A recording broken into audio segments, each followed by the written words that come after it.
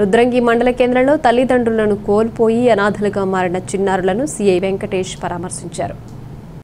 ఈ సందర్భంగా సీఐ వెంకటేష్ మాట్లాడుతూ చిన్నారులు అనాథలుగా మారిన కథనం తన మనస్సుని ఎంతో బాధపెట్టిందని చిన్నారులకు ఎటువంటి సహాయం చేయడానికైనా పోలీస్ శాఖ ముందుంటుందని వారి చదువు కోసం అన్ని ఏర్పాట్లు చేస్తామన్నారు. సీఐ వెంట కానిస్టేబుల్ రవికుమార్ వార్డు సభ్యులు గొళ్ళెం సరిత నర్సింగ్ ఉన్నారు.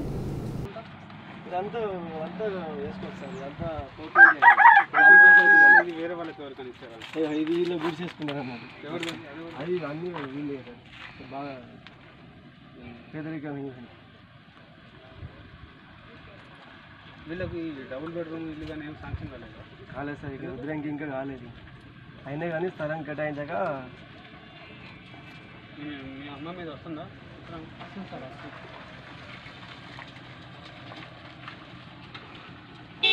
ముందు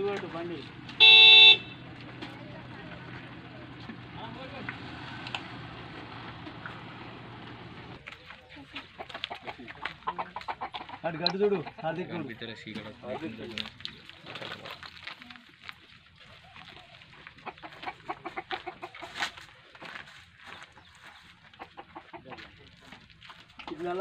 చెల్లె కూడా బాగుపడుతుంది తమ్ముడు బాగుపడతాడు. చదువుకోలేదు అనుకో ఇదే గొర్రె కాసుకుంటూనే ఉంటావు జీవితాంతం. తమ్ముడు చదువుకున్నాడు అనుకో వాడికి ఖర్చులు కావాలంటే ఏదైనా పెద్ద స్కూల్కి పంపించాలంటే పంపిస్తావా?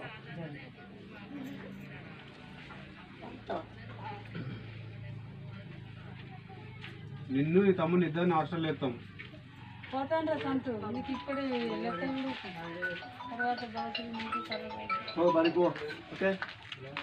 మంచిగా చదువుకో చదువుకున్న తర్వాత నీ చెల్లెని చూసుకో. నీ చెల్లెని అప్పటిదాకా మీ అమ్మమ్మ చూసుకుంటుంది. వాళ్ళకి కావాల్సిన ఖర్చు లేదో అవి ఇవి మేము ఎట్లా కట్లా మేము చేస్తాం. గవర్నమెంట్ తరఫు నుంచి ఏమైనా మేము ఇప్పిస్తాం.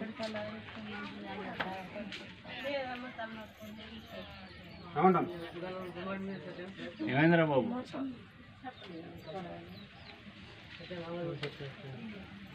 చదువు మీద ఇంట్రెస్ట్ లేదా? అది. ఇంట్రెస్ట్ ఉన్నా లేకపోయినా కానీ అక్కడ ఇవైతే ఉండాల్సిందే ఎందుకంటే ఇది కూడా ఇద్దరు